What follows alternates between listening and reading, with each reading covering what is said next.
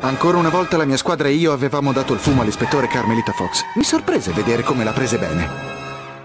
Finalmente il file segreto della polizia che stavo cercando da tanti anni.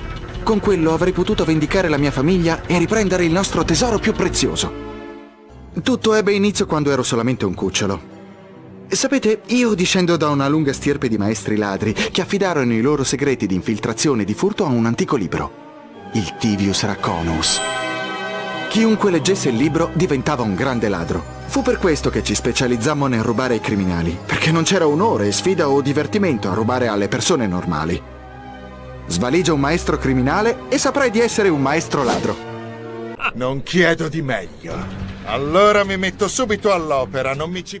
Vediamo di farla finita il più presto possibile. Ascolti, Lord Sorbet, non ha nulla di cui preoccuparsi. Quando sarò nominato comandante per il lavoro svolto, sarà lei a servire me. Ah!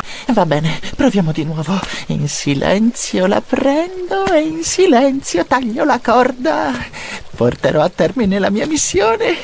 Andrà tutto liscio come l'olio. E già, è perché sono proprio un re fortunato io.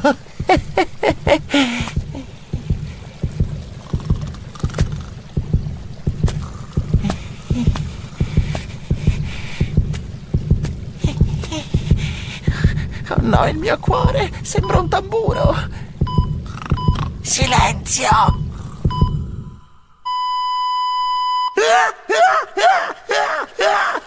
Si è fermato!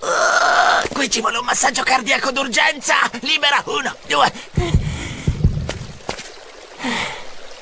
L'ho scampata bella! Rilassati, niente panico!